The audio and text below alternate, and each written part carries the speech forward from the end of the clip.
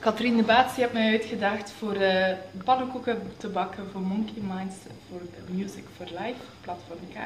Ehm, bij deze ben ik pannenkoeken aan het bakken en ik daag Lien Verrijd uit om pannenkoeken te bakken uh, voor Monkey Minds uh, van platform K, voor Music for Life.